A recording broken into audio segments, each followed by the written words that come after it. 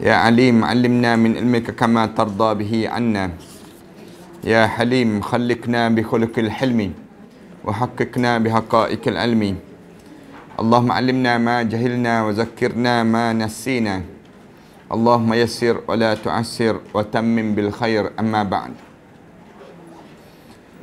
Para hadirin yang dimati sekalian, Alhamdulillah kita syukur pada Allah kerana sekali lagi pada penghujung tahun ini, kita diberi peluang oleh Allah tahun kalender Islam. Kita dah berada pada lebih kurang 10 hari lagi untuk nak masuk tahun baru. Cuma oleh kerana kita lama sangat dengan kalender uh, Masihi ini, kita rasa baru uh, di pertengahan tahun. Padahal sebenarnya kita dah berada di penghujung tahun dalam kalender Islam ini. Di mana kita berada pada 20 uh, Zulhijjah kan? 20 ke 21 Zulhijjah. Ke tak ingat dah kitanya. 21 hari ni.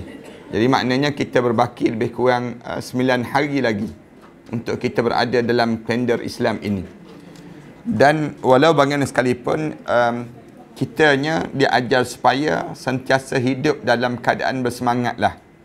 Dan tajuk yang kita bincangkan ini bersemangatlah dan hindarilah daripada sifat pemalas ataupun sifat malas yang sentiasa menyeliputi di kalangan kita.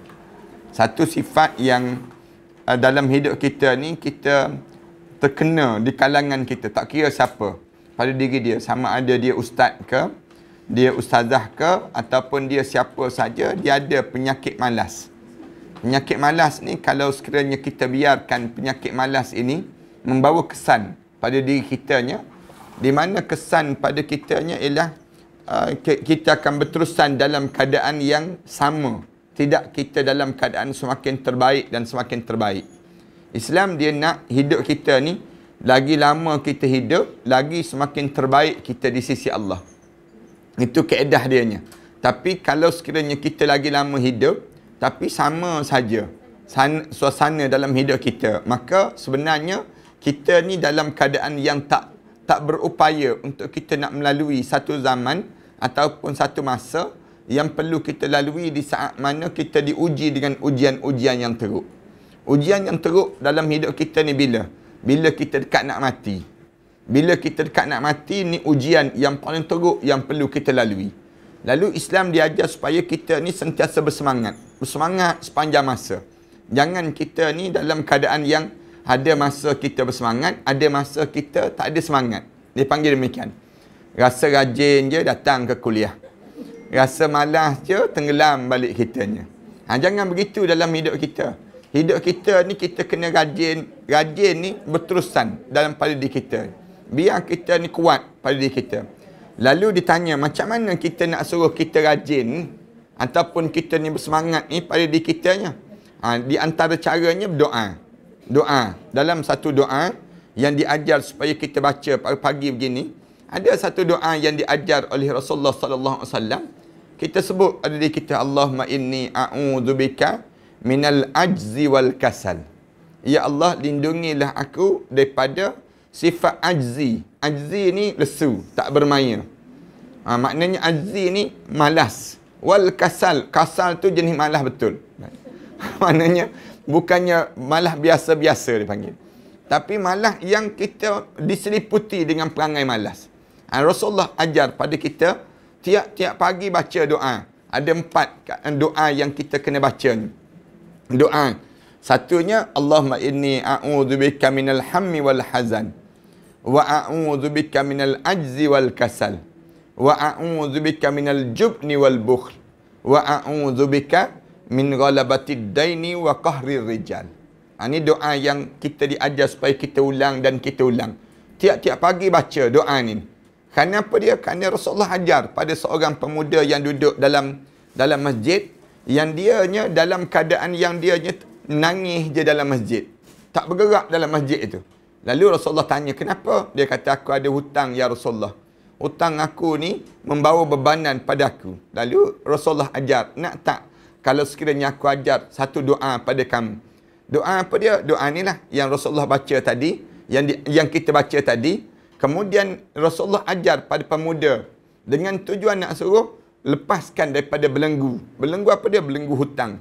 Hutang ni di antara benda yang yang menyebabkan kita dibelenggu dengan hutang ni kenapa? Kerana kita ada rasa malas. Malas untuk kita nak buat kerja. Malas untuk kita nak buat sesuatu benda.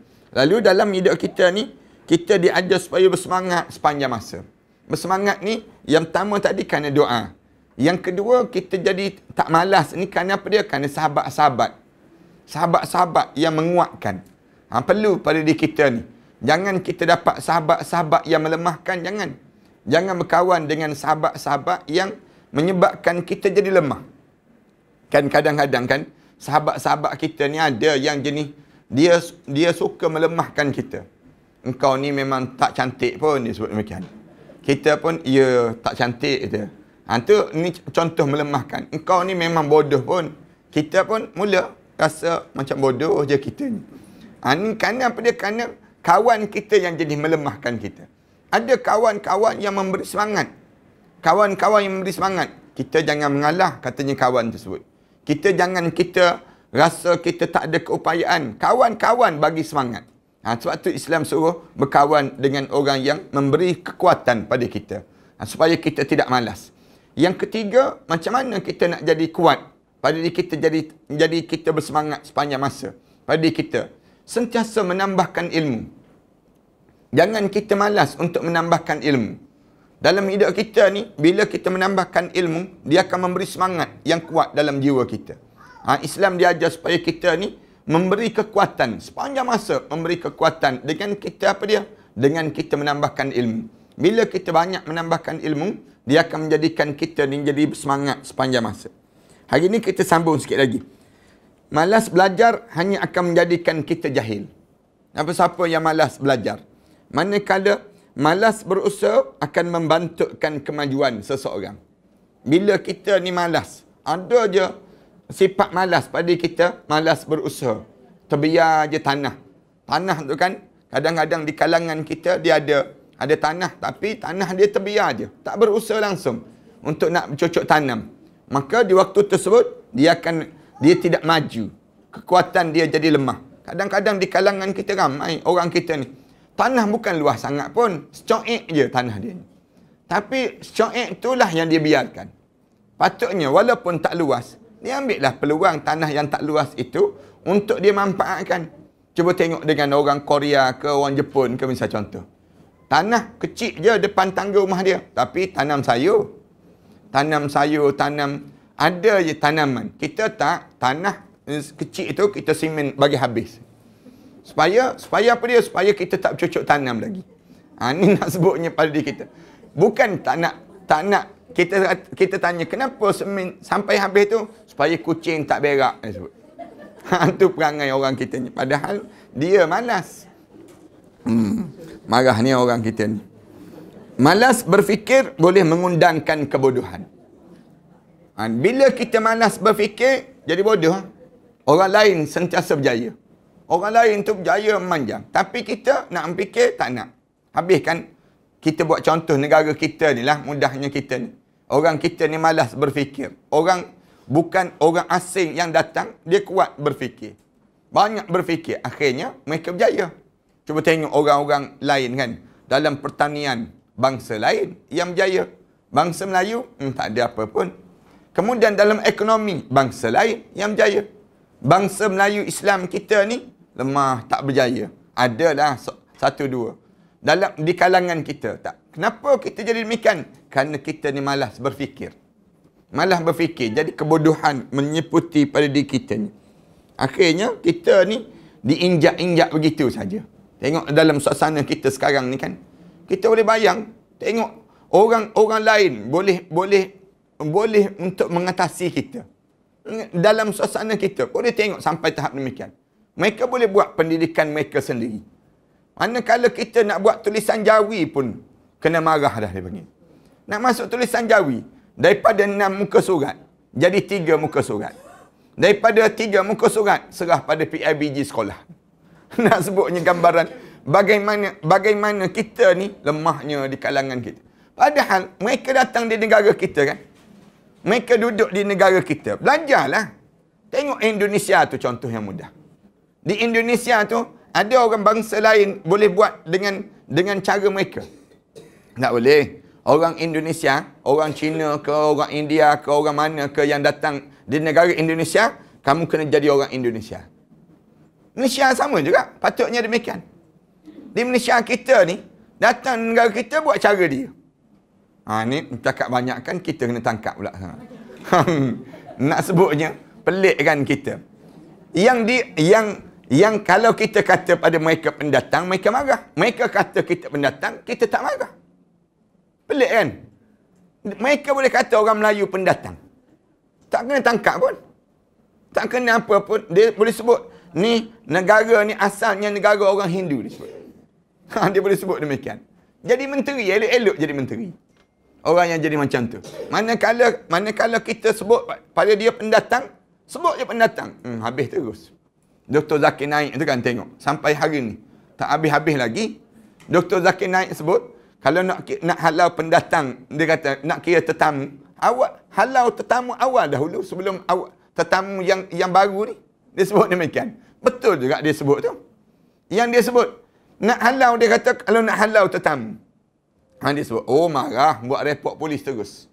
Ha, buat report polis terus. Kita ni pun cakap macam ni, kena report polis pula. Ha, nak sebut je gambaran bagaimana orang di kalangan kita. Mengundang kebodohan. Kita jadi bodoh di kalangan kita. Malas berubah hanya akan mendatangkan kerugian. Siapa-siapa yang tak nak berubah, dia akan rugi dalam hidup dia. Dalam hidup kita ni mesti berubah. Berubah seiring masa dan seiring tempat yang kita berada. Jangan kita berubah je, tapi masa kita tak berubah. Kemudian tempat yang kita berada pun tak berubah. Dalam hidup ni, mesti ada perubahan daripada masa ke semasa. Dalam kehidupan seorang.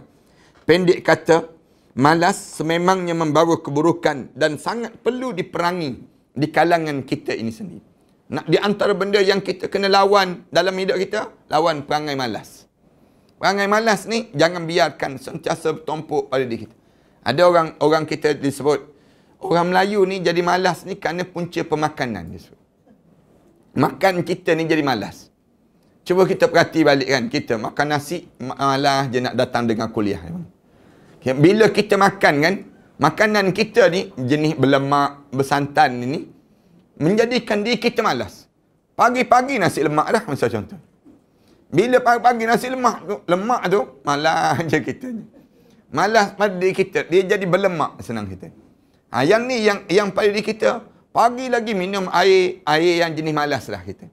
Tidak jadi minum air. Ada kita nak minum air za'faran. Misal contoh. Ada kita nak minum air madu pagi-pagi. Kita ni jarang kita demikian. Pagi-pagi tertarik. Tersebut. Kena tertarik itu berdengkur terus tepi dinding. Ini nak sebut gambaran bagaimana orang kita. Pagi lagi kena roti canai. Roti canai pula dua biji telur pula tu. Ha, dia, dia akan jadi demikian. Yang menyebabkan kita jadi malas je pada diri kita. Dia antara faktor malasnya dalam hidup.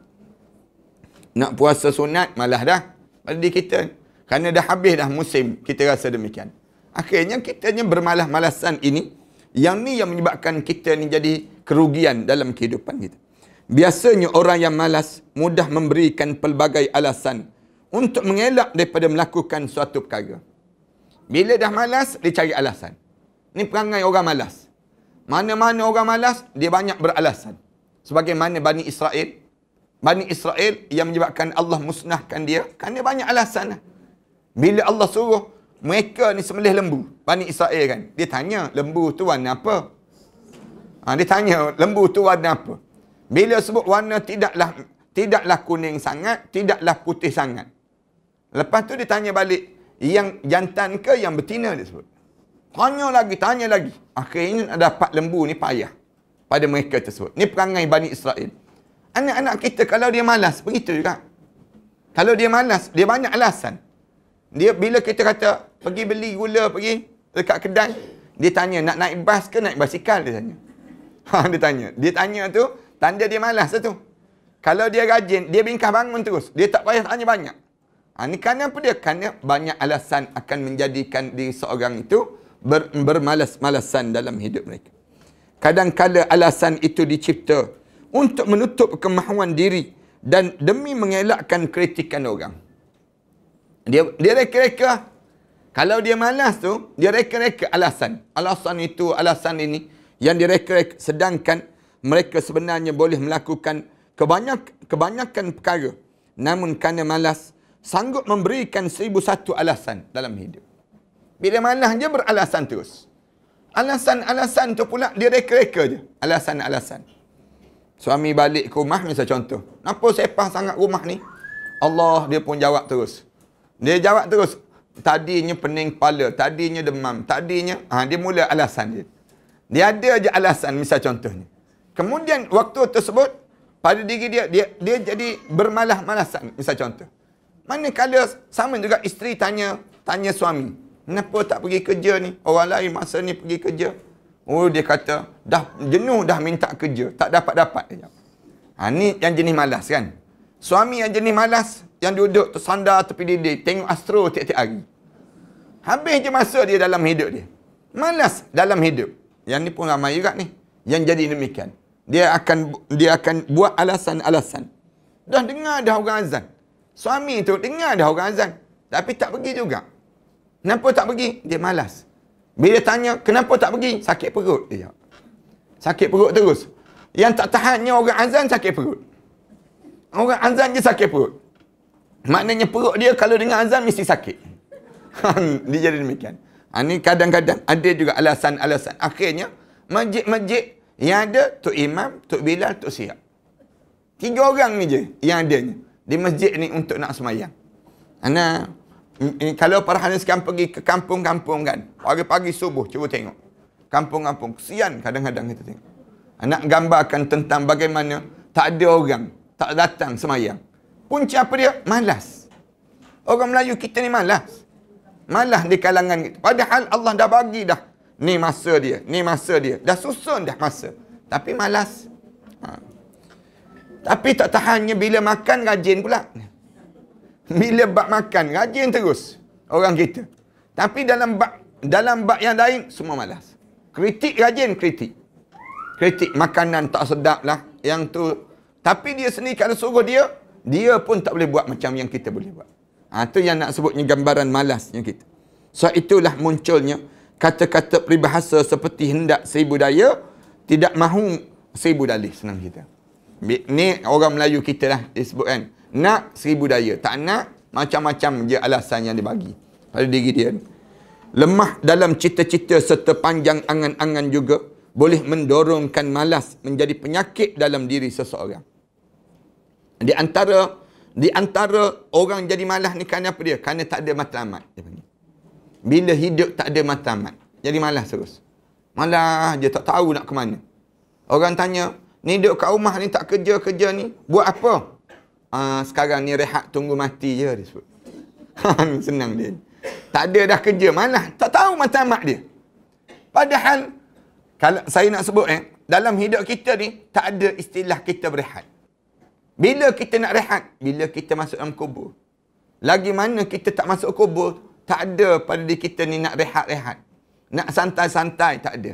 Dalam hidup kita ni, sepanjang masa kita dipenuhi dengan jadual-jadual yang yang wajarnya untuk kita penuhi pada setiap masa pada diri kita.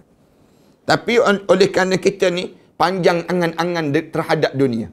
Panjang angan-angan. Hidup pula tak ada matlamat menjadikan penyakit dalam diri seorang. Apabila seorang itu sentiasa berada dalam keadaan angan-angan kosong, ia hanya membiak perkara yang tidak berfaedah. Selesa dengan angan-angan yang tiada manfaat. Akhirnya menjadikan seorang itu pemalas. Berangan-angan je. Berangan-angan tu yang menyebabkan dia jadi pemalas dalam hidup dia. Panjang je angan-angan. Nak yang tu, nak yang ni. Yang menyebabkan akhirnya dia tak buat kerja. Ni berlaku di kampung-kampung berlaku. Bukan di kampung je, di bandar-bandar. Orang kampung ni kadang-kadang, kalau kita pergi ke kedai kopi tu, pagi-pagi kan, borak tu besar je manjang. Dia nya sendiri projek tu, projek ni kita dengar. Kalau dia orang bercakap. Dengar tu macam gaya-gaya berjaya semua. Tapi, tengok semak samun je kawasan rumah. Kawasan rumah tu semak samun. Kenapa dia? Malasnya dalam hidup mereka sebut. Ha, ni, yang ni yang terjadi ni. Kalau para hanan sekian, tak tahulah di kampung para hanan sekian macam mana. Tapi kalau kampung anak, di Pahang tu, kita boleh tengok macam mana malasnya orang kita. Orang kita ni malas. Tapi orang bukan Islam rajin. Orang bukan Islam ni pula masuk dalam hutan-hutan. Pebang balak-balak. Balak-balak tu semua keluar. Siapa tanah belakang rumah siapa? Belakang rumah orang Melayu kita. Habis kawasan. Pergi ke Bentong tu je tak payah jauh. Farhan sekarang pergi ke Bentong tu. Tengok asal dulu. Orang orang Cina ni mana minat makan durian? Orang Cina mana minat makan durian? Sekarang di Bentong tu, penuh orang Cina je. Yang tanam durian. Nak sebut je, durian tu macam-macam gaya nama. Musang king lah. Durian, ah, apa dia, kucing tidur lah. Durian macam-macam nama dah sekarang. Nak sebutnya, durian tu pun pening terhadap nama dia. Nak gambarkan ter- bagaimana orang kita ni. Yang mana siapa? Orang kita. Sampai sebiji itu boleh RM60 sebiji. Para hadirin sekarang boleh bayang. Kalau durian boleh jual sebiji RM60. RM60 kita tanya. Kenapa ni mahal sangat? Ah ni ustaz ustaz cuba rasa. Durian kunyit ni disebut. Ni durian kita kata beli berapa ni? Beli RM60 sebiji disebut. Makan durian tersebut. Kita makan RM60 sebiji. Nak gambarkan tentang bagaimana orang orang orang bukan Islam. Kita tanya beli kat mana ni? Ni semua kebun mereka ustaz, bukan kebun kita. Kebun kita dah tak ada dah. Orang kita jual habis dah tanah-tanah dah. Tanah-tanah tu dah habis dah dijual. Mereka tu pula berapa? Sekali buka saja 100 hektar, 97 hektar. Ekar tu, mereka bukannya 4 hektar, 3 hektar tak. Main 60, 70 hektar. Mereka memiliki demikian. Hmm, sebab tu mereka boleh hidup selesa. Nampak je macam tu. Kadang-kadang pakai selipar Jepun je. Tapi duit banyak. Nak sebut. Kerana apa dia? Usaha mereka tersebut. Usaha mereka. Ha, dalam ses, Tapi orang kita tak. Orang kita jadi lesu, tak bermanya. Lepas subuh, pergi kat kedai. Borak kat kedai. Pukul 10 pagi baru balik. Balik sampai ke rumah, tidur. Tidur dulu. Ambil kail, kailulah dia panggil. Ambil kailulah ni sendiri. Tidur. Kemudian bangun zuhur. Pergi semayang zuhur. Lepas semayang zuhur, balik makan nasi pula. Lepas tu, habis tengok Makan nasi, tengok Hindustan pula. Layan Hindustan. Sampai asar. Asar, pergi semayang. Pergi semayang berjemaah. Lepas semayang asar, balik pula. Makan goreng pisang pula. hidup mereka.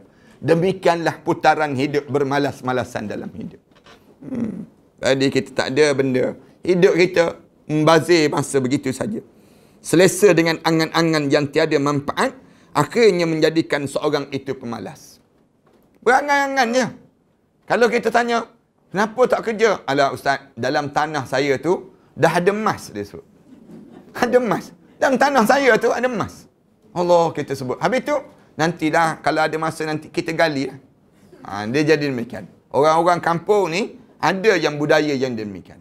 Yang akhirnya, mereka je berhutang. Sampai peringkat kedai, kalau kedai runcit orang Melayu Islam kita buka, tutup kedai runcit. Kenapa berhutang? Berhutang je. Dia ambil ambil barang, masuk buku lah, dia sebut. Nanti dah jual getah nanti bayar lah. Ha, ni perangai orang kita. Kemudian tunggu, tunggu, tunggu. Tak jual-jual getah dia. Bila dia nak jual getah tersebut, tutup kedai. Ramai mana orang yang buka kedai di, di kampung-kampung, tutup. Apa yang buka kedai? Orang bangsa lain yang datang buka kedai, berjaya. Kenapa berjaya? Kerana tak boleh berhutang. Bila tak boleh berhutang, kena bayar terus. Yang akhirnya, mereka jadi dalam keadaan yang bermalas-malasan di kalangan kita. Ya, individu berkenaan akan malas untuk melakukan perubahan. Individu ni jadi malas untuk melakukan perubahan. Bertindak ke arah positif dan sebagainya. Dia tidak mahu angan-angannya dirosakkan dengan melakukan kerja-kerja yang berfaedah. Ha, dia dia akan sentiasa melayan angan-angan dia. Dia tak nak buat kerja-kerja yang bermanfaat. Namun sebenarnya dia tidak sedar bahawa dia sedang tertipu dengan angan-angannya sendiri. Ramai orang kita begitu. Tertipu dengan angan-angan sendiri. Malas untuk nak buat kerja. Malas untuk... Akhirnya pada diri kita, dia dalam hidup mereka sebut, dikalahkan dengan orang lain. Bangsa lain jauh lebih hebat daripada bangsa kita ataupun agama kita. Kerana apa dia? Kerana kita ni bermalas-malasan dalam perkara demikian. Umat Islam satu zaman dahulu kan hebat dalam dalam hidup mereka tu sentiasa buat kajian. Ibn Sina kita buat contoh. meninggal dunia dengan uji kaji je kaji kaji kaji ilmu yang banyak al-khawarizmi semua ilmu-ilmu yang hebat dalam Islam ni dikaji dalam hidup kita ni dikaji oleh orang Islam sebelum daripada umat Islam berada di zaman kegemilangan tapi bila umat Islam diruntuhkan tahun 1924 jadi lesu tak bermain orang Islam tak kuat dalam hidup kita akhirnya teknologi kita dikuasai oleh mereka pula mereka yang menguasai kita pula menjadi pengguna-pengguna terhadap teknologi mereka. Ha, ini sampai pengat demikian. Dalam dunia Islam kan, nak kaya kaya, kaya orang Islam. Allah bagi banyak kekayaan. Tapi malas. Tengok contoh yang mudahnya, Saudi lah. Para sekarang pergi ke Saudi. Asyik nak menyumpah aja dengan orang Arab Saudi. Nak marah pada orang Arab Saudi. Kenapa? Kerana tak nak belajar dengan dunia lain. Bila beratur nak masuk immigration tu pun sakit hati dah. Naik masuk, turun. Bukan sakit hati itu. Kadang-kadang naik kapal terbang dia pun sakit hati. Naik kapal terbang dia tu sakit hati. Bukan naik kapal terbang dia, nak dapat visa di kedutaan Saudi pun sakit hati. Ha, nak sebutnya. Gambaran bagaimana sakit hatinya kita. Tak tak profesional langsung. Dalam kita menyusun, dalam menyusun. Padahal Allah bagi mereka ni teknologi yang harta benda jauh lebih kaya daripada kita. Kaya mereka ni di kalangan di, di kalangan keluarga mereka. Tapi kekayaan itu menjadikan mereka bodoh dalam hidup ini. Ini dengan ke Arab Saudi marah ni. Kita ni kan. Nak sebutnya kebodohan. Tu contoh satu negara. Negara-negara umat Islam yang lain sebelum daripada ni. Semua hebat-hebat. Tapi dapat pada pemimpin yang bodoh. Bila jadi demikian, semakin semakin teruk, semakin teruk dalam kehidupan kita. Hmm. Negara kita sendiri pun sama juga. Hutang negara kita nak jadi satu trilion dah ni. Nak jadi satu trilion. Sebelum daripada ni, 686 juta kan. 686 uh, juta ni, uh, bilion ni. Tapi ni nak jadi satu trilion dah. Yang terbaru ni, hutang kita ni nak dekat dengan satu trilion. Ha, nak sebutnya gambaran bagaimana makin teruk, semakin teruk kepada kita. Ha, betul lah. Mula-mula pegang sebelum daripada ni kan sebut hutang satu trilion, satu trilion. Memang betul nak cukup satu trilion. Harga barang kita yang yang kelapa sawit ke, getah ke, orang kampung memang teruk betul sekarang. Teruk jatuh, jatuh, jatuh, jatuh, jatuh kekuatan ekonomi kita. Untuk yang berjaya, umat yang berjaya adalah umat yang tidak terpengaruh dengan angan-angan kosong. Jangan melayan sangat angan-angan tu. Jangan. Ramai orang kita ni, dia dia kalah kerana angan-angan dia. Berangan je. Berangan, berangan, berangan. Oh dapat, dapat, dapat. Tahu-tahu tak dapat. Ini perangai di kalangan kita demikian. Sehingga mendorong mereka menjadi malas. Mereka yang berada dalam zon kemalasan biasanya tidak mampu memberikan reaksi positif kepada perubahan yang berlaku di sekeliling dalam hidup mereka. Apa yang malas, dia negatif je manjang. Oh tak boleh. Kalau kita sebut pada dia, buatlah macam ni, buatlah macam ni sikit. Oh tak boleh. Tak boleh je manjang. Kerana apa dia? Kerana dia tak boleh jadi positif dalam hidup. Kerana malas. Malas tadi menguasai lebih dalam hidup dia. Sehingga kan dia tidak jadi positif dalam kehidupan dia. Itu jadi bahaya pada diri kita. Allah, maka marilah bersemangat untuk menghadapi hari-hari yang mendatang ini. Jangan kita jadi jangan kita lemah. Jangan bertangguh dan bermalasan dalam kehidupan hari ini kerana belum tentu esok adalah milik kita. Ha, ni kita sebut dalam hidup kita ni jangan kita ingat setiap hari ni adalah hari-hari kita. Hari yang kita lalui itu yang telah berlalu tu dalam hidup kita menjadikan kita semakin bersemangat untuk melalui masa yang akan datang. Apa yang ada pada hari ini harus disyukuri pada diri kita. Malas mengusahakan nikmat yang ada pada hari ini mungkin boleh merugikan hari esok pada diri kita ni. Jangan malas. Dalam hidup kita ni biar semangat sepanjang masa untuk kita menjadikan hari esok menjadi lebih baik daripada hari ini. Jadi kita. Ni tak kan kita masuk ke dapur malas je nak masak. Kita ni kita ni bukan orang tempat ni ni orang Australia ni. Kita pergi masuk ke rumah kita malas je nak mengemas. Malas je pada diri kita ni bersepah begitu bersepah. Lama-lama dah jadi kalih kita. Tengok suasana kita tu, malas kita tu, dah jadi macam biasa dah. Dalam hidup. Anak-anak kita pun sama juga. Bila dia malas je, dia biar je begitu. Dia boleh duduk dalam dalam bilik yang semak samun macam tu tu. Dalam keadaan tak kemas tu, dia boleh tinggal dalam keadaan sebegitu. Kadang-kadang kita masuk bilik dia bau hapak je bilik. Kenapa? Kerana sifat malas yang dibiarkan. Kadang-kadang yang jenis malas basuh pakaian tu kan, tak dalam baldi tu sampai berbau air. Nak sebutnya malasnya di kalangan kita. Mana mungkin seorang pelajar dapat mencapai kejayaan hari esok Sekiranya hari ini dia malas untuk belajar. Siapa-siapa pelajar-pelajar anak-anak kita, kalau dia rajin pada hari ini, dia akan berjaya akan datang. Tapi kalau dia malas hari ini, dia tak berjaya akan datang. Tak berjaya dalam hidup dia pada masa yang akan datang. Mana mungkin seorang peniaga mampu mengukir kecemerlangan dalam perniagaannya hari esok, sekiranya hari ini dia malas untuk berusaha keras. Niaga sama juga. Mana-mana orang niaga, dia kena berusaha sungguh-sungguh sekarang. Memang penat awal-awal. Tapi kalau dah lama dah, dia akan berjaya. Dia akan berjaya dalam diri dia. Kerana semangat dia. Begitulah juga bagaimana mungkin seorang itu boleh hampir kepada Allah. Sekiranya ia malas untuk mendekatkan diri kepada Allah. Orang kita kan, nak suruh dekat dengan Allah. Tapi pergi masjid duduk belakang-belakang je masih. Bukan tempat ni juga, ni tempat lain. Kita nak suruh dekat dengan Allah. Orang kita kan dia cari dinding, sandar tepi dinding. Pergi, dia nak suruh dekat dengan Allah. Macam manalah kita sebut. Pergi semayang Jumaat. Kalau pergi semayang Jumaat, dia pergi duduk belakang sekali, duduk sebelah seiper dia tu. Seiper duduk sebelah, dia semayang sebelah. Nak sebutnya gambaran malahnya orang itu. Bagi salam, bagi salam, bingkah bangun terus. Datang pada lewat, balik pada awal.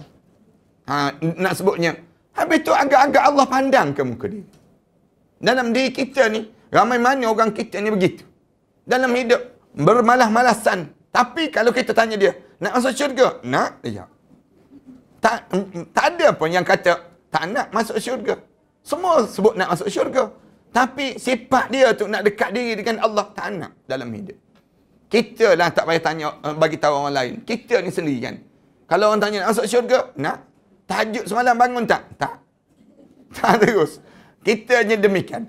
Malasnya yang pada yang ada pada diri kita. Macam mana kita nak suruh dekat dengan Allah SWT? Nak baca doa pun malas. Angkat tangan tu doa tu, Ya Allah macam biasalah Ya Allah. Amin. Tu. Doa paling ringkas sekali dalam dunia. Malasnya orang kita ni. Bayangkan bagaimana mungkin kita dapat menikmati nikmat Islam pada hari ini. Sekiranya Rasulullah sallallahu alaihi wasallam dan para sahabat dan umat terdahulu malas melakukan dakwah serta berjuang menegakkan agama Allah. Kalaulah kita, kita ni, punca apa kita ni dapat nikmat Islam sebegini?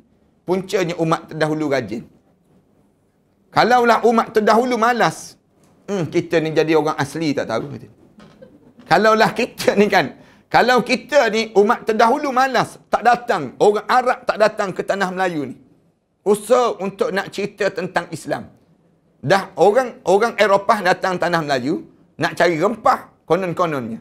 Datang tempat kita. Mana kalau orang lain datang tempat kita ni semua dalam keadaan yang yang malas bawa bawa agama Islam. Misal contoh, nescaya kita bukan orang Islam. Ha, nak sebutnya oleh kerana kita ni dapat Islam ni punca apa? Orang dahulu rajin. Datang tinggal anak isteri. Tinggal kampung halaman datang ke bumi Malaysia kita ni. Jumpa dengan raja-raja. Bagi tahu kepada raja-raja. Ni cara hidup Islam. Begini, begini, begini. Akhirnya, raja-raja masuk Islam. Bila raja-raja masuk Islam, orang pengikut-pengikut ni, bendahara-bendahara yang di kalangan orang bawah-bawahan ni, mula masuk Islam sama.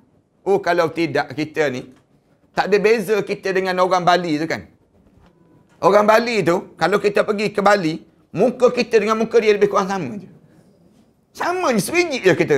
Kadang-kadang cantik muka dia lagi pada muka kita. Tapi menyembah penyembah Hindu je. Orang Bali tu kan. Penyembah-penyembah tokong-tokong saja. Nak sebutnya gambaran demikian. Kenapa dia? Kerana dakwah yang berterusan. Yang berterusan uh, istiqamahnya di kalangan mereka tersebut. Syukurlah kita. Macam kita ni juga lah. Ana sendiri, Ana tengok. Punca apa kita belajar, mengajar ni? Kerana kita belajar dengan ulama-ulama dahulu. Orang kampung dahulu. Ulama-ulama kampung dahulu, kita besar dahulu. Mak kita, ayah kita ni. paksa kita pergi dengar belajar. Pergi belajar, pergi belajar. Pergi ke masjid, pergi dengar kuliah. Akhirnya kita pergi dengar. Walaupun kita tak faham waktu tu. Waktu tu kita tak faham pun. Pergi main je, cuik-cuik, cuik-cuik kawan. Duduk dalam majlis ilmu. Lama rio sikit, orang orang kampung akan angkat muka. Tengok muka kita. Kerana kita bising dalam kuliah. Nak sebutnya demikian. Tapi lama-lama dia melekat pada diri kita. Dia melekat. Kita pun hidup, hidup, hidup dengan suasana seperti ini. Anak sebutnya, pada diri kita ni, jangan kita bermalas-malasan dalam sebut tentang agama. Kalau kita malas sebut tentang agama, kesan dia apa dia? Anak-anak kita dan cucu-cucu kita nanti. Dalam hidup. Malas hanya akan mendatangkan banyak keburukan. Sementara bersemangat itulah yang sering menguntungkan kita. Umat yang bersemangat sentiasa akan menang dalam apa jua yang mereka lakukan. Bila kita bersemangat, kita akan menang. Kita akan berjaya. Semangat adalah natijah daripada sumber dalaman seorang yang mendorongkan melakukan suatu pekerjaan. Dia panggil himmah. Himmah ni maknanya rasa kemahuan dalam diri kita ni kuat. Himmah dia panggil. Suatu kena sentiasa hidupkan himmah. Himmah ni kemahuan. Kemahuan kita ni. Celik je mata, kita nak nak pergi dengan kuliah pagi ni ni. Walaupun ustaz lambat sampai aku kena datang. kita ni himmah kita tu kena kuat. Walaupun kita ni begitu pun pada diri kita, semangat kita tu mesti kuat. Bila semangat kita ni kuat, dia akan menatijahkan satu perkara-perkara yang berjaya dalam hidup kita. Namun apakah semangat datang sendiri? Sudah tentu tidak. Semangat akan hadir pada diri seorang sekiranya didorong dengan pelbagai perkara Semangat-semangat ni dapat daripada mana? Ha, didorong. Kita tak mungkin kita boleh buat uh, jadi semangat saja tanpa didorong dalam pada jiwa kita. Di antaranya adalah bercita-cita tinggi. Kita ni kena letak cita-cita. Kena ada cita-cita. Orang tanya, cita-cita ustaz apa dia? Orang tanya, nak masuk syurga? Kita jawab. Biar kita letak begitu. Cita-cita nak masuk syurga. Bila kita ni ada cita-cita, Biarlah setinggi mana pun kita. Lalu menyebabkan kita akan bersemangat pada diri kita. Jangan tak ada cita-cita. Ha, ramai orang kita ni, orang tanya dia, nak cita-cita nak apa dia? Dia kata, saya ni macam biasa-biasa lah. Nak masuk syurga ke? Nak, dia kata. Kalau kena masuk, masuk ya. Dia sebut demikian. Habis itu neraka, neraka tak nak. Tapi kalau kena masuk, masuk je lah. Senang dia. Ha, dalam hidup dia tak ada perasaan jiwa dia tu mati. Ha, jangan, jangan begitu. Biar kita ni bersemangat. Semangat dalam jiwa kita. Kemudian yang kedua berjiwa besar. Berjiwa besar ni maknanya jangan pandang lekeh pada diri sendiri. Allah dah bagi dah pada diri kita ni kelebihan yang tersendiri. Jangan kita nampak kita ni lemah sangat, jangan. Pada di setiap di kalangan kita ni dia ada kekuatan yang tersendiri yang Allah bagi. Kita mungkin ada lemah bahagian ini, tapi Allah bagi kuat di bahagian ini. Para hadis kan jangan nampak. Bila kita kita ni lemah, maka lemah segala-galanya. Ramai mana orang cacat kan. Kita tengok atas kerusi roda. Tapi dia berjaya. Dia duduk. Ni toke speed mark ni. 99 ni kan. Speed mark 99 tu. Dia cacat tu. Nak buat contoh yang mudah. Tapi sekarang ni speed mark tu ada berapa? Berpuluh, beribu-ribu cawangan yang ada. Ni toke dia ni. Tak ada kaki ni. Kudung. Nak sebutnya speed mark 99 ni. Ni contoh yang mudah. Bagaimana berjaya. Walaupun dia berjaya. Dia buka speed mark tu dengan duit judi kan. Dia dapat untung 1 juta. Dia beli nombor ekor. Katanya. Kemudian dapat 1 juta. Dia pun kembang, kembang, kembang. Jadi kedai speed mark. Nak sebutnya. Sampai tahap demikian. Nah. Di antaranya adalah cita-cita tinggi. Berjiwa besar. Jangan berjiwa kecil. Ni kadang-kadang kita buat buat kek tak menjadi, buat kek tak menjadi. Kecil dah jiwa kita ni. kita kata tak boleh dah. Memang tangan ni tak ada tak ada seni langsung dia buat kek. Tangan ni tak menjadi dah. Padahal kita ada lagi. Allah dia tak jadikan sesuatu. Bila nak jadi, jadi terus tak. Allah suruh kita berusaha, mencuba, mencuba. Jangan cepat putus asa. Ni tak kita ni. Buat dua tiga kali tak menjadi buang dengan dengan semua sekali buang dah. Buang tak boleh dah. Saya ni yang menjadi makan je. Yang kalau nak buat memang tak menjadi. Akhirnya kita malas. Tak buat-buat. Tak berasak langsung pada diri kita. Jangan. Biar kita jadi rajin. Berjiwa besar. Tidak ber, tidak tertangguh dalam satu perkara. Kalau nak berjaya, jangan tangguh dalam satu perkara. Menepati janji dan sebagainya. Ha, ini barulah kita dapat semangat itu. Ya, sebab itulah. Sebab itu, lihatlah kepada generasi terdahulu yang telah berjaya. Kesemua ciri di atas ada pada mereka cita-cita tinggi mendorongkan mereka agar tidak mudah berputus asa menyebabkan beriwa besar menjadikan mereka tidak mudah patah semangat kalau tidak takkanlah Sa'ad bin Abi Waqqas itu kubur dia sampai di negara China kan Sa'ad bin Abi Waqqas kan kalau kita pergi sahabat Rasulullah dia padahal berada di kota kota Madinah bersama dengan Rasulullah sallallahu alaihi wasallam Rasulullah wafat dia bergerak, bergerak, bergerak, bergerak, bergerak sampai ke mana? Ke negara China. Meninggal dunia di negara China. Sahabat-sahabat seramai 100 ribu lebih zaman Rasulullah sallallahu alaihi wasallam. Yang dikuburkan di kuburan Baqi berapa ramai? 10 ribu lebih je. 90 ribu lebih ni berada dekat mana? Merata dunia. Bergerak dan bergerak. Ha, ini berjiwa besar. Tidak bes tidak tertangguh dalam satu perkara menjadikan mereka sentiasa bergerak pantas. Hidup mereka tak tangguh. Tahu saja gerak. Tahu saja bergerak. Menepati pula menepati janji pula menjadikan mereka bermaruah. Inilah jalan kejayaan yang ada pada mereka yang tidak malas dalam berusaha. Selain daripada itu Rasulullah sallallahu alaihi wasallam juga menyuruh kita mengamalkan doa yang merupakan satu-satu senjata muslim yang paling ampuh dalam menangkal virus malas dalam godaan syaitan itu mintalah selalu kepada Allah Ta'ala agar tetap bersemangat dan menjauhi kemalasan. Baginda mengajar pada kita baca doa tadi. Doa Allahumma inni a'udzubika minal hammi wal hazan wa a'udzubika minal ajzi wal kasal wa a'udzubika minal jubni wal bukhl wa a'udzubika min ghalabatid daini wa qahri rijal. Minta dan pohonlah dengannya supaya diberikan kekuatan pada diri dalam menghindari sifat-sifat malas serta lemah mudah-mudahan kejayaan akan menjadi milik kita bersama insya-Allah. Mudah-mudahan Allah jadikan pada kita demikian. Sallallahu ala Muhammad wa ala alihi wa sahbihi wasallam. Alamin. Bismillahirrahmanirrahim. Alhamdulillahi rabbil alamin wassalatu wassalamu ala asyrafil anbiya wal mursalin وعلى آله وصحبه أجمعين. ربنا افتح بيننا وبين قومنا بالحق وأنت خير الفاتحين. ربنا آتنا في الدنيا حسنة وفي الآخرة حسنة وقنا عذاب النار. والحمد لله رب العالمين.